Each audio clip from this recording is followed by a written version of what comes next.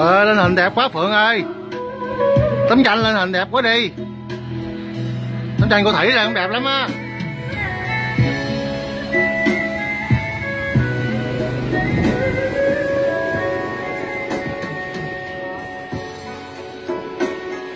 Sao, cô giáo chấm ờ, cũng được ha, mà hơi đều quá.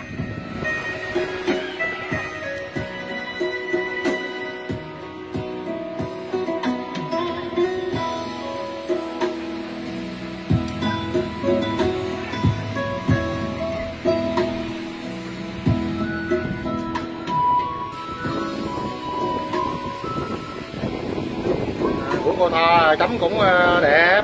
Ok. Nhưng mà ở ngoài đây á em phải cho nó lưa tưa ra nó đừng có đều quá. Cái tán nó đều quá nó giống cái tim quá. Như ngồi kế hai cái anh này á mấy ảnh dễ đều quá cái mấy em em ngồi cái bên này bị lay luôn á. Nó phải nó có rồi lưa tưa tưa ra. Có cái lưa tưa ra đưa ra đi vô vậy đó, hiểu không? Ờ đó đưa ra đi vô vậy đó, đúng rồi. Đừng đều quá.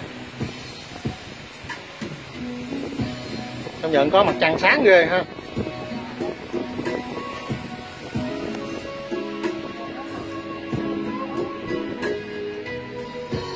Em nhớ mặt trăng bên kia phải tán màu ra cho nó nó mờ ra nè đó. Mặt trăng bên kia của em á mặt trăng lửa liềm á nó chưa có đều quá nha. Ừ đúng rồi.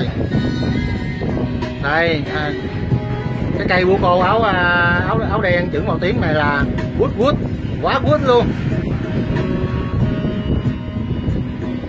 Sướng dễ sợ luôn á nha. Đúng là thiệt luôn á. Đã dễ sợ luôn á. Của nhung á chấm đừng có đều nha quá nhung ơi. Giống như em đi nó nó lớp nó đều nha quá kìa thấy không? Tán cây của nhung á nó đều nha quá. Sửa lại.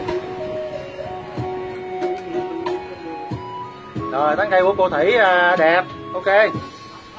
Cô thủy à, tán cây đẹp á. Chịu rồi đó. Trời ơi ai mà tôi khen là mừng đi. Không phải sửa.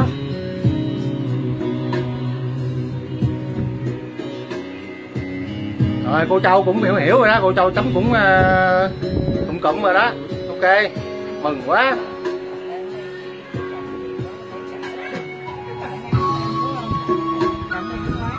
Đó giờ còn hai em trai này. Ráng chấm tán cây cho đẹp.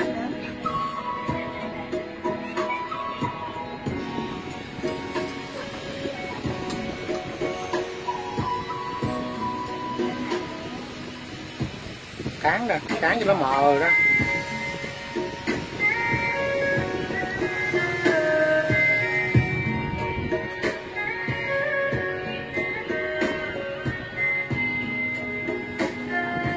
Nói với, đâu phải dễ đâu, mà mới có hai tiếng đồng hồ mà ngồi mà vẽ được bức tranh đâu. Thấy vậy chứ không có dễ đâu.